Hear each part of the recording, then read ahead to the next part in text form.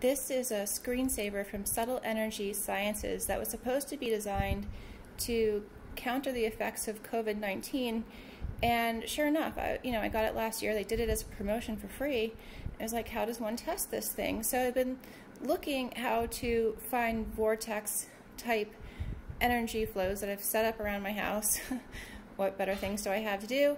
And um, anyway, it just came across me today that I should test this because I've been noticing this torus pattern and I finally thought to myself, I think I found a way to reveal that it does something. So um, I started using this stainless steel pendulum instead of the amethyst because uh, the amethyst is so heavy that it makes my hand swing.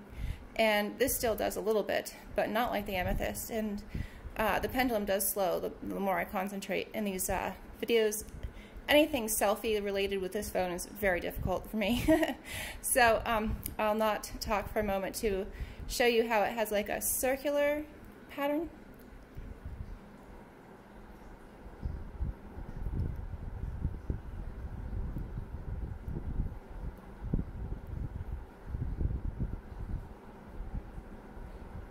Then I'll move it off. And you notice it stops moving right away. And the name of this screensaver is uh, Quantum Immunity, and it's by Subtle Energy Sciences. You can find their community on Facebook.